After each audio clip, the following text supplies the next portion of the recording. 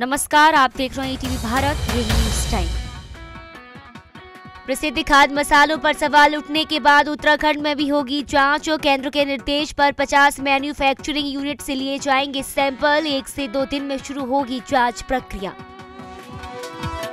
जोरों पर चार धाम यात्रा की तैयारियाँ। सीएस राधा रतूड़ी ने केदारनाथ और बद्रीनाथ धाम पहुंचकर लिया जायजा। समय से काम पूरा करने के दिए निर्देश। चार धाम यात्रा में पहले पंद्रह दिन नहीं होंगे वीवीआईपी दर्शन। पार्किंग के लिए बीस जगह चिन्हित। ऐप से होगी वाहनों की मॉनिटरिंग। यात्रा मार्गों पर 700 सफ़ाई कर्मियों की होगी तैनाती। डोईवाला लाया गया प्रणय नेगी का पार्थिव शरीर। और अंतिम दर्शन के लिए उमड़ी लोगों की भीड़। हरिद्वार में सैन्य सम्मान के साथ किया गया अंतिम संस्कार। खन्ना निदेशक एस एल पैट्रिक सस्पेंड गंभीर आरोपों के बाद शासन ने जारी किए निलंबन के आदेश। राज्यपाल लेखा को दिया गया अतिरिक्त चार्ज।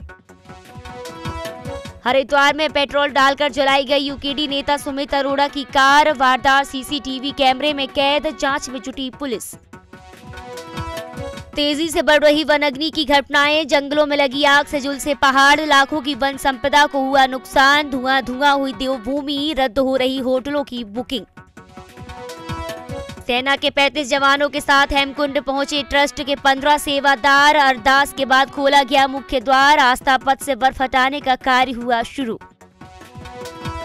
केदारनाथ धाम में चल रहे पुनर्निर्माण कार्यों के खिलाफ तीर्थ पुरोहितों का हल्ला बोल। राज्य और केंद्र सरकार पर लगाए गंभीर आरोप। केदार सभा ने 10 मई को दी बंद की चेतावनी। केदारनाथ यात्रा को लेकर यात्रियों में उत्साह, मई और जून के लिए हाउसफुल हुई केदारनाथ हेली सेवा। केदारनाथ में दर्शनों के लिए अठारह हज़ार यात्रियों ने करवाया ऑनलाइन रजिस्ट्रेशन। ज़्यादा खबरों की लॉगिन करें डब्ल्यू